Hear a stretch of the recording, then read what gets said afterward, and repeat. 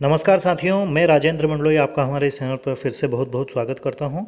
और important extract का ये पार्ट टू हम लेकर आए हैं। एक वीडियो में पहले बना चुका हूँ, उसको यदि आपने नहीं देखा है तो प्लेलिस्ट में जाकर ज़रूर देखिएगा, मैंने प्लेलिस्ट बना दी है। ठीक है दोस्तों flamingo chapter number two lost spring के इम्पोर्टेंट एक्सट्रैक्ट हम देख रहे हैं। चलिए, दिया गया है if I start a school will you come यदि मैं स्कूल शुरू करूँ तो क्या तुम आओगे? आई आस्क हाफ़ जोकिंग मज़ाक में मैं उससे ऐसा पूछ लेती हूँ। आई यहाँ पर कौन है? आई मतलब यहाँ पर इस लेसन की राइटर है। ठीक है ना? तो पूछा जा सकता है तो हमें ध्यान रखना है। अब इसमें होता क्या है कि साहेब नाम का एक रेक पिकर होता है, जो कचरा बीनता है या कचरे से उपयोगी वस्तुएँ ढूंढता है। उसका नाम साहेब रहता है तो उससे ये पूछती है कि यदि मैं स्कूल शुरू करूँ तो क्या तुम स्कूल आओगे? तो वो कहता है, यस. मतलब हाँ. ही सेज वह कहता है तो ही मतलब यहाँ पर कौन हो गया है? साहेब हो गया है। साहेब कौन है? तो साहेब एक रेक रेक पिकर है। स्माइलिंग बोर्डली मतलब अच्छे से मुस्कुरा कर वह कहता है कि हाँ मैं आऊँगा। A days later I see him running up to me कुछ दिनों बाद मैंने देखा कि वह मेरी तरफ़ दौड़ते हुए आ रहा है। कौन? वो साहेब नाम का लड़का, जिससे मैंने ये कहा था कि यदि मैं स्कूल स्टार्ट करूँ तो क्या तुम स्कूल आओगे? इज़ योर स्कूल रेडी क्या तुम्हारा स्कूल तैयार है? ऐसा किसने पूछा? साहेब ने पूछा। किससे पूछा? तो राइटर से पूछा। It takes longer to built a school I से मैंने कहा कि एक स्कूल को बनने में या स्कूल का निर्माण होने में टाइम लगता है। Embarrassed at having made a promise that was not meet अब इम्प्रेस्ड का अर्थ होता है सबके सामने लज्जित होना। सबके सामने लज्जित होना, शर्मिंदा होना। तो शर्मिंदा होते हुए मैंने उसको ऐसा कहा कि एक स्कूल बनने में टाइम लगता है। क्यों? क्योंकि उसने उससे जो प्रॉमिस किया था, वो फेक प्रॉमिस था। फेक मतलब झूठा, नकली। इसलिए वो शर्मिंदा होती है। But promise like mine mine मतलब है यहाँ पर मेरा या मेरे। Abound in every corner of his blink world अब यहाँ पर एक फ्रेज़ आया है फ्रेजल वर्ब जिसको हम बोल सकते हैं अबाउंड इन इसका अर्थ होता है प्रचुर मात्रा में। प्रचुर मात्रा में। प्रचुर मात्रा में मात्रा में मतलब ज़्यादा। तो इस प्रकार के जो वादे हैं, जो प्रोमिस हैं, वो तो मेरी जो ब्लिंक वर्ल्ड है। मेरी जो एक अलग ही दुनिया मेरी जो है, गरीबों वाली, रेक पिकर्स वाली, उसमें अबाउंड इन मतलब प्रचुर मात्रा में मुझसे ऐसे वादे किए जाते हैं, जो कि पूरे नहीं होते हैं। After months of knowing him I ask his name जब कुछ महीने बीत गए और मैंने उसको जान लिया, पहचान लिया किसको लेखिका कह रही है कि कुछ महीनों बाद जब महीने बीत गए तो जब हमारी जान पहचान बढ़ गई तो मैंने उससे उसका नाम पूछा तो उस बच्चे का नाम क्या था? साहेब ए आलम। ही अनाउंसेस वह अपना नाम क्या बताता है? साहिब आलम बताता है। He does not know what it means अब उसे इसका मतलब पता नहीं था। उस लड़के को अपने नाम का मतलब पता नहीं था। If he knew its meaning यदि वह अपने नाम का अर्थ समझता, या जानता। Lord of the universe universe मतलब ब्रह्मांड। लॉर्ड मतलब ईश्वर। मतलब ब्रह्मांड का देवता या ब्रह्मांड का भगवान। उसके नाम का अर्थ है he would have hard time believing it यदि उसे पता चले कि मेरे नाम का अर्थ ये है तो उसे विश्वास करने में काफ़ी समय लगेगा, या मुश्किल से ही वो विश्वास करेगा कि मेरे नाम का अर्थ ये हो सकता है। Unaware of what his name represent अब इस चीज़ से वह अवेयर नहीं है, उसे जानकारी नहीं है कि मेरे नाम का क्या अर्थ है। He roams the streets with his friend roam मतलब इधर उधर घूमना, भटकना। वह गलियों में अपने मित्रों के साथ भटकता है। An army of barefoot boys मतलब उनका जो दल है आर्मी मतलब दल, वो बेयर फुट बॉयज़ वाला है। बेयर फुट मतलब होता है नंगे पैर। उनके पैरों में चप्पल जूते भी नहीं हैं। वो appears like the morning birds and disappear at noon वह उन सुबह के पक्षियों के समान रहते हैं जो सुबह तो दाना पानी चुगने के लिए आते हैं, खाने पीने के लिए आते हैं और दोपहर के समय वह गायब हो जाते हैं। ठीक है? तो यहाँ पर इन बेयरफुट बॉयज़ की तुलना किससे की गई है? मॉर्निंग बर्ड्स से की गई है।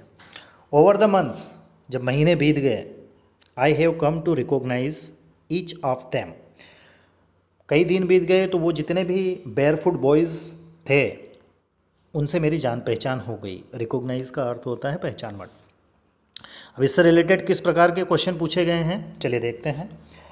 Which literary device is there in Saheb's name Saheb का जो नाम था, उस नाम में कौन से साहित्यिक उपकरण का प्रयोग किया गया?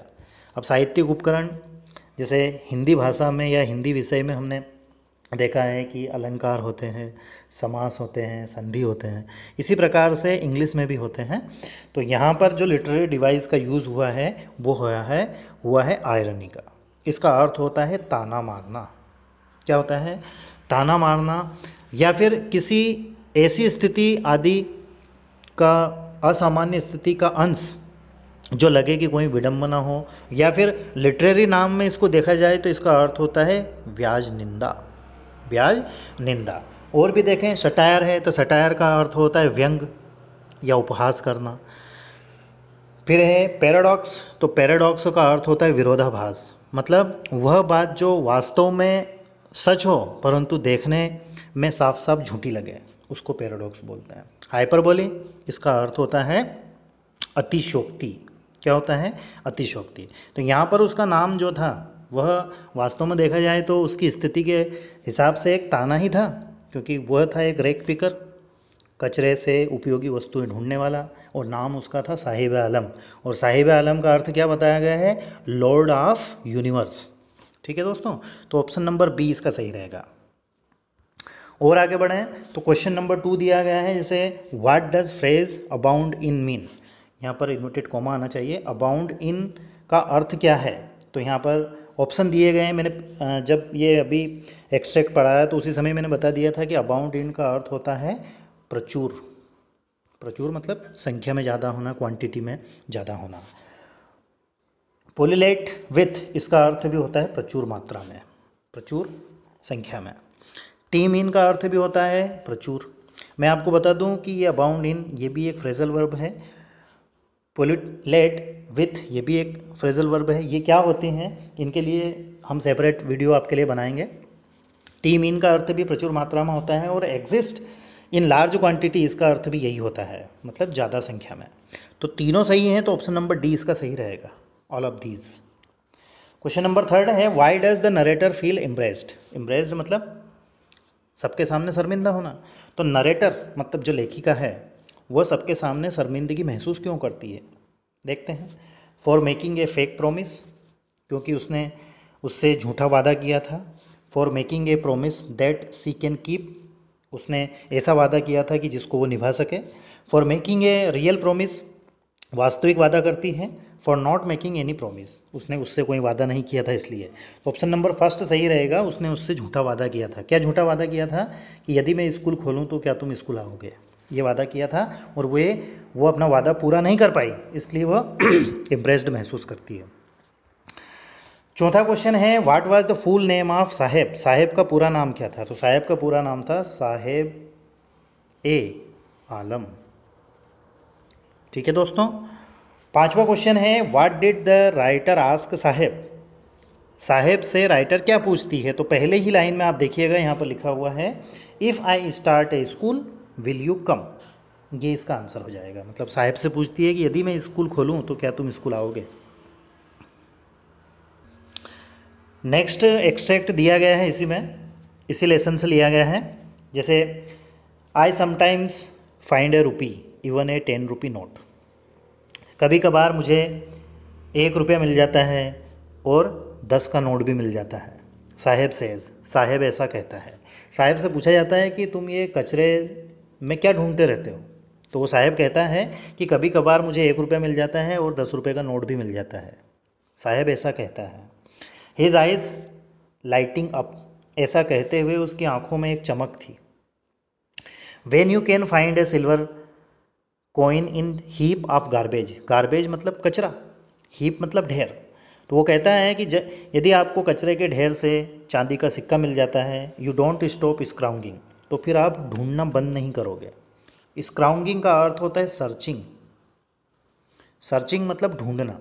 या फिर लुकिंग फॉर लुकिंग फॉर का अर्थ भी होता है ढूंढना। For there is hope of finding more मतलब आप इस उम्मीद में और ज़्यादा ढूंढते जाओगे कि आपको और भी कुछ मिलेगा।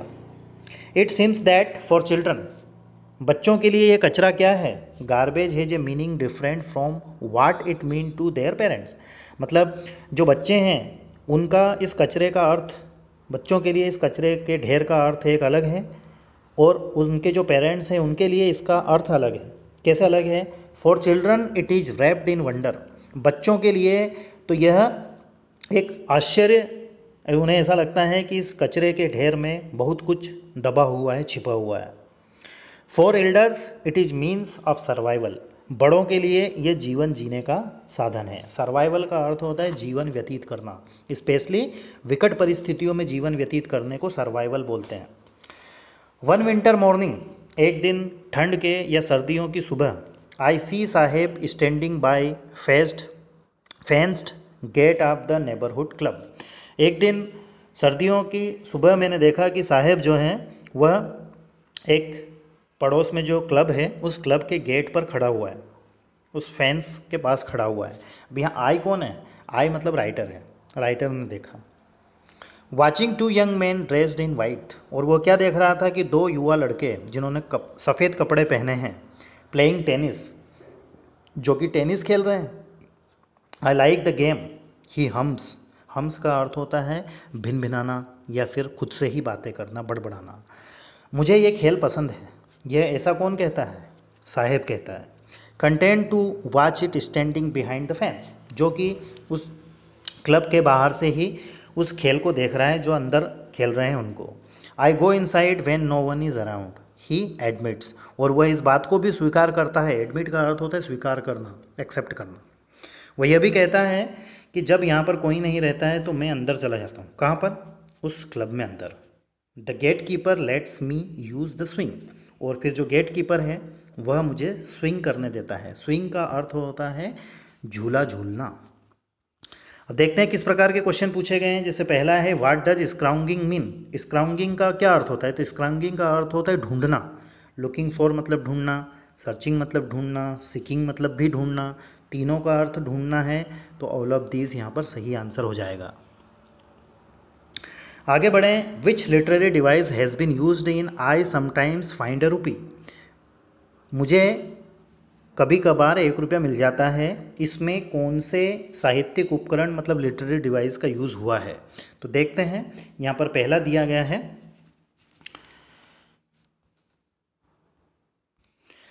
पहला दिया गया है, इसको, इसका जो प्रोनाउंसिएशन है, इसका प्रोनाउंसिएशन होगा सिनेक डकी ठीक है? A figure of speech in which a part is substituted for whole or a whole for a part मतलब इसका अर्थ ये है कि उदाहरण के तौर पर जैसे हम कोई सी बड़ी बात को कहने के लिए कुछ शब्दों का इस्तेमाल करते हैं, जैसे यहाँ पर हम ये कहते हैं कि fifty head of kettle.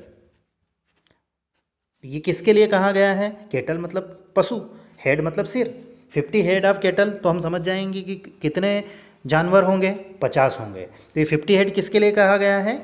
For cows को कितने काउज़ तो फिफ्टी काउज़ के लिए इसका इस्तेमाल किया गया है। ठीक है?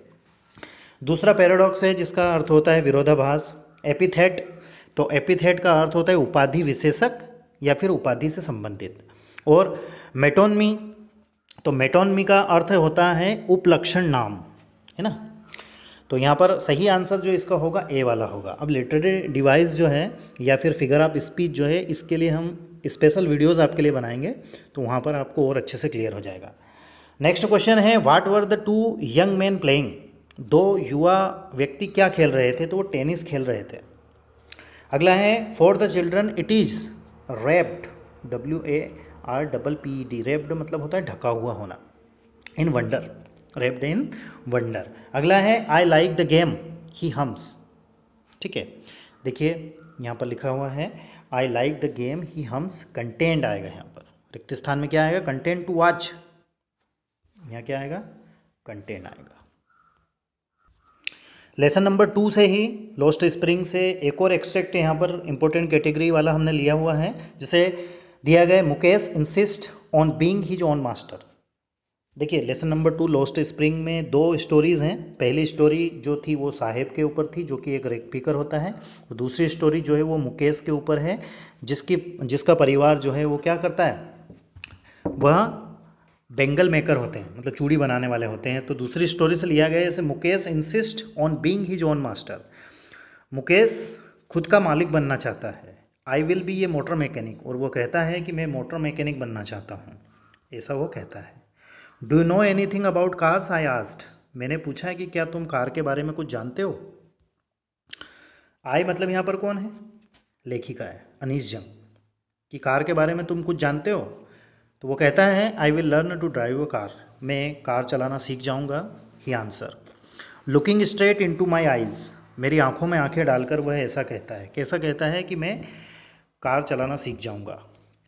His dreams looks like mirage amidst the dust of street that feel his town Firozabad अब उसका ये जो सपना है, यह एक मिराज के समान मिराज क्या है? मिराज मतलब होता है मरीचिका। अब मरीचिका क्या होता है? मरीचिका मतलब रेगिस्तान में आपने देखा होगा कि यात्री को पानी भरा हुआ दिखाई देता है। लेकिन जब वह उसके पास जाता है तो वहाँ कुछ नहीं होता है। उसको बोलते हैं दृष्टि भ्रम या फिर भ्रम। तो उसका जो सपना है वह एक मिराज के समान है, जो कि फिरोजाबाद की गलियों में या यहाँ उड़ने वाली धूल में वह धुंधला पड़ चुका है। फिरोजाबाद क्या है? फ़ेमस फॉर इट्स बैंगल्स यह अपनी चूड़ियों के लिए प्रसिद्ध है। फिरोजाबाद में चूड़ियाँ बनाई जाती हैं। Every other family in Firozabad is engage in making bangles Firozabad का हर दूसरा परिवार चूड़ियाँ बनाने में व्यस्त है। ये चूड़ियाँ ही बनाता है तो कई पीढ़ियों से चूड़ियाँ बनाते हुए आए हैं। It is the center of India's glass blowing industry where families have spent generations working around furnaces. Furnaces का अर्थ होता है भट्टी। तो यहाँ के जो परिवार हैं, वह कई पीढ़ियों से जनरेशन्स से भट्टियों के सामने ग्लास को ब्लो करते हैं मतलब कांच को पिघलाकर उनको चूड़ियों के आकार में परिवर्तित करते हैं। इसीलिए यह इंडिया का ग्लास ब्लोइंग इंडस्ट्री कहा जाता है। फिरोजाबाद। वेल्डिंग, ग्लास मतलब कांच को जोड़ना, मेकिंग बेंगल्स, फिर उससे चूड़ियाँ बनाना for all women in the land it seems और ऐसा लगता है कि इस पूरी पृथ्वी पर जितनी भी चूड़ियाँ बनाई जाती है, जितनी भी महिलाएँ चूड़ियाँ पहनती हैं, वो यहीं से जाती हों या यहीं बनती हों, ऐसा लगता है। ठीक है? अब किस प्रकार के क्वेश्चन पूछे गए हैं? देखते हैं। जैसे पहला है what is Firozabad famous for मतलब फिरोजाबाद किस चीज़ के लिए फ़ेमस है? तो फॉर बेंगल्स चूड़ियों के लिए फ़ेमस है। What does mirage mean mirage का क्या अर्थ होता है? ऑप्शन दिए गए जैसे हाइपर टेंशन इल्यूशन इंट्यूशन या ब्यूटिफिकेशन तो यहाँ पर हाइपर टेंशन का अर्थ होता है उच्च रक्त रक्तचाप इल्यूशन का अर्थ होता है दृष्टि भ्रम या फिर भ्रम। इंट्यूशन का अर्थ होता है मनोभाव या सहज बुद्धि और ब्यूटिफिकेशन का अर्थ होता है सौंदर्यकरण। तो ऑप्शन नंबर बी इसका सही रहेगा, मिराज का अर्थ होता है दृष्टि भ्रम मरीचिका जिसको हम बोलते हैं। थर्ड है what is Mukesh's attitude towards life मतलब अपने जीवन के लिए मुकेश का एटीट्यूड कैसा था? उसका अंदाज कैसा था? तो पेसिमिस्टिक था ओमनीपोटेंट था ऑप्टिमिस्टिक था या रियलिस्टिक था? देखिए पेसिमिस्टिक जो है तो पेसिमिस्टिक का अर्थ होता है निराशावादी ओमनीपोटेंट का अर्थ होता है सर्वशक्तिमान सर्वशक्तिशाली। ऑप्टिमिस्टिक का अर्थ होता है आशावादी, जिसको आगे कुछ करने की आशा हो, और रियलिस्टिक का अर्थ होता है यथार्थवादी।